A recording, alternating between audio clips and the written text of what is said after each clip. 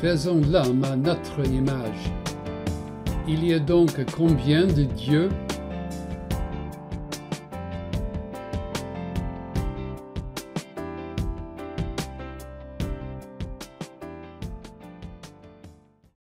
Dieu dit, faisons l'homme à notre image, selon notre ressemblance. Ce verset qui gêne tellement les monothéistes se trouve juste là, sur les premières pages de la Bible. Pour justifier ces pronoms inattendus au pluriel, les croyants ont inventé plusieurs hypothèses.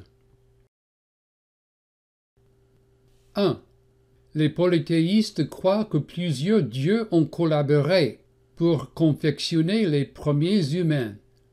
Donc il n'y a pas de problème, à part le fait que la Bible affirme ailleurs l'unicité du Dieu créateur.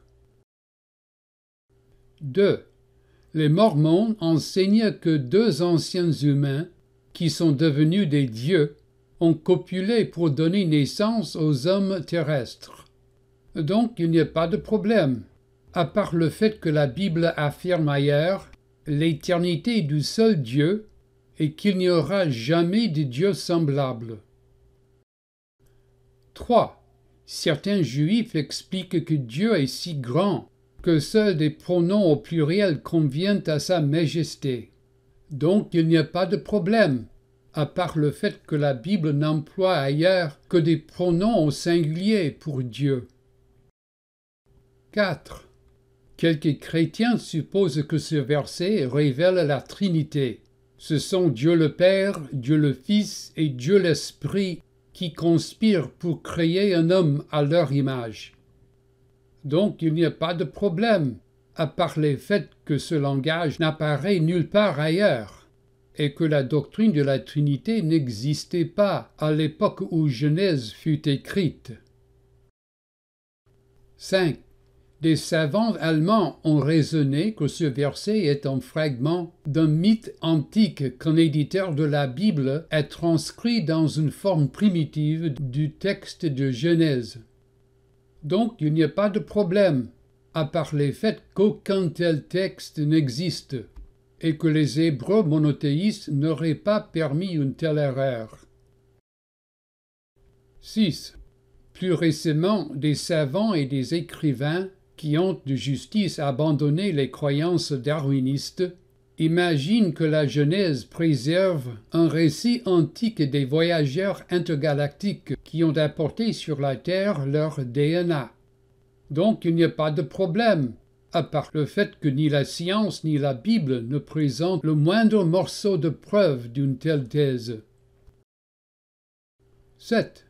Tout récemment, les savants qui ont examiné les anciens textes du Moyen-Orient dans leurs langues originales ont proposé une autre explication des pronoms au pluriel dans Genèse 1, 26. Dieu dit, faisons l'homme à notre image, selon notre ressemblance. Au verset 26, le sujet et le verbe de la phrase sont au pluriel. Il s'agit de plusieurs membres du conseil divin primordial, lesquels comprennent Yahvé, le Dieu éternel, est un nombre d'êtres spirituels que Yahvé avait créés. Au sujet de ces êtres spirituels, le livre de Job parle de la création de la terre. Alors que les étoiles du matin éclataient en chants d'allégresse, et que tous les fils de Dieu poussaient des cris de joie. Cependant, ce fut Yahvé seul qui entreprit de créer les premiers êtres humains. L'Éternel Dieu forma l'homme de la poussière de la terre, il souffla dans ses narines un souffle de vie, et l'homme devint une âme vivante.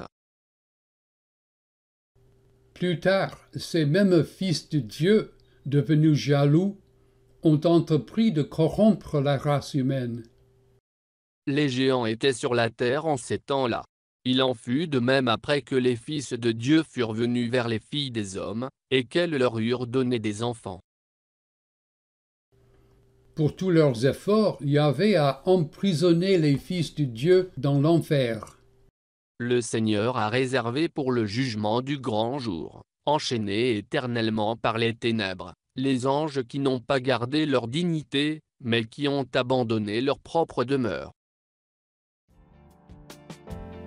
Les membres chutés du Conseil divin seront remplacés par les vrais disciples de Jésus-Christ, le Fils unique de Dieu. Ceux qui seront trouvés dignes d'avoir part au siècle à venir, et à la résurrection des morts ne pourront plus mourir, parce qu'ils seront semblables aux anges, et qu'ils seront fils de Dieu, étant fils de la résurrection.